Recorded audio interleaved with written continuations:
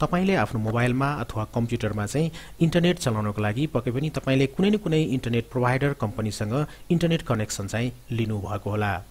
यदि तपाईँले चाहिँ इन्टरनेट कनेक्सन वर्ल्ड लिङ्क कम्पनीबाट लिनुभएको छ भने अथवा डब्लु लिङ्क कम्पनीबाट लिनुभएको छ भने आउनु साथीहरू यो भिडियोमा म तपाईँहरूलाई चाहिँ तपाईँले आफ्नो वाइफाईको नेम र त्यस्तै गर्न तपाईँले चाहिँ आफ्नो वाइफाईको पासवर्ड कसरी चेन्ज गर्न सक्नुहुन्छ आफ्नो ल्यापटपबाट आफ्नो कम्प्युटरबाट त्यो कुरा चाहिँ म देखाउन गइरहेको छु।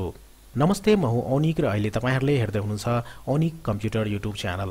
यो च्यानललाई अवश्य नै सब्सक्राइब गर्नुहोला साथीहरू किन भन्दा यो च्यानलमा टेक्नोलोजी सम्बन्धी दैनिक रूपमा नयाँ नयाँ भिडियोहरू नेपाली भाषामा निशुल्क हेर्न सक्नुहुन्छ। अब आजको विषयवस्तुतिर लागौँ।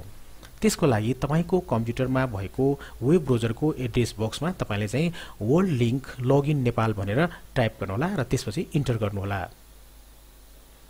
त्यसपछि तपाईँले यहाँ पहिलो लिङ्क चाहिँ हेर्न सक्नुहुन्छ वर्ल्ड लिङ्क भनेर। त्यसमा चाहिँ तपाईँले क्लिक गर्नुहोला।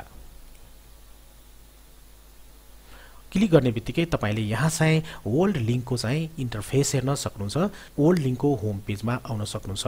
अब यहाँ तपाईँले हेर्न सक्नुहुन्छ अनलाइन सर्भिसेस लगइन भनेर युजर नेम र पासवर्ड त्यसपछि तपाईँले यहाँ चाहिँ अनलाइन सर्भिसेस लगइनमा चाहिँ युजर नेम दिनुहोला र त्यसरी नै पासवर्ड दिनुहोला र त्यसपछि सिम्पली यहाँ सबमिटमा चाहिँ क्लिक गर्नुहोला।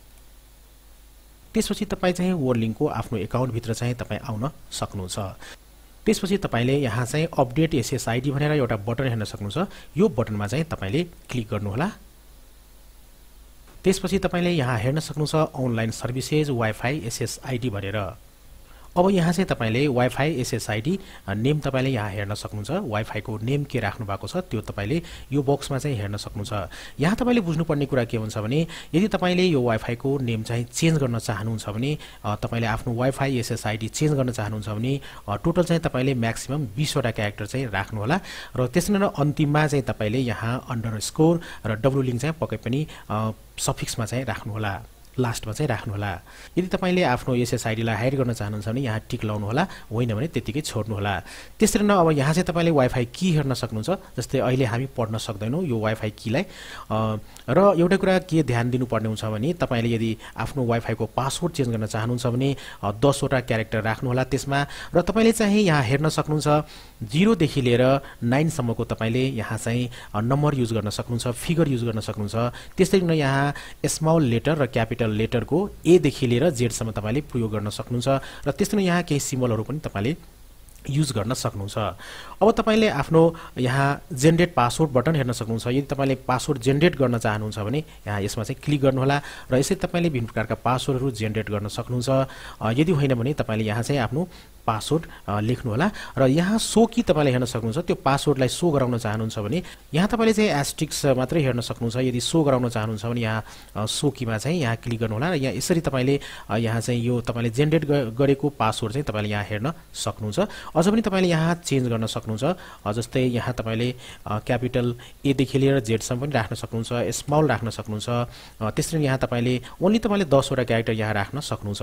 अब यति राखिसकेपछि सिम्पली तपाईँले अब यहाँ चाहिँ तलतिर तपाईँले यहाँ चाहिँ सेभ चेन्जेस यहाँ एउटा बटन हेर्न सक्नुहुन्छ। त्यो बटनमा चाहिँ तपाईँले क्लिक गर्नुहोला र क्लिक गर्ने बित्तिकै यसरी चाहिँ तपाईँले आफ्नो वाइफाईको पासवर्ड चाहिँ चेन्ज गर्न सक्नुहुन्छ।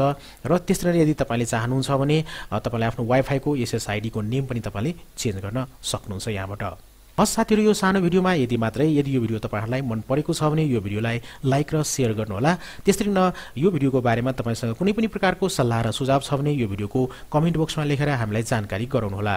अन्तमा जाँदा जाँदै साथीहरू तपाईँहरूलाई एउटा सानो अनुरोध गर्न चाहन्छु औनिक कम्प्युटर युट्युब च्यानललाई सब्सक्राइब गर्नुहोला र त्यसरी नै बेल आइकनमा क्लिक गर्न नबिर्सिनुहोला नयाँ नयाँ भिडियोहरूको जानकारी तथा नोटिफिकेसन प्राप्त गर्नको लागि।